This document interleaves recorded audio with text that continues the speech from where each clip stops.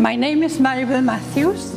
I come from a very beautiful small island in the Mediterranean called Gibraltar. And I'm, I'm very, very grateful to Agora for letting me exhibit in New York.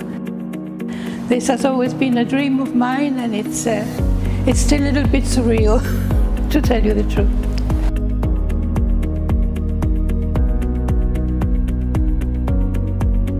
I work mostly with oils, oils on canvas. I like to paint beautiful things most of the time. Um, and I get inspiration, of course, from traveling. One of my favorite places is Italy. As you, you can see, this is an Italian collection, most of it.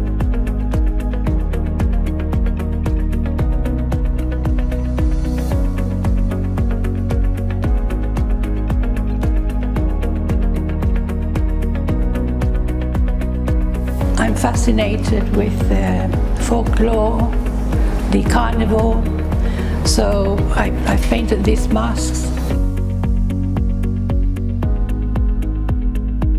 But mainly trying to capture what's behind the mask.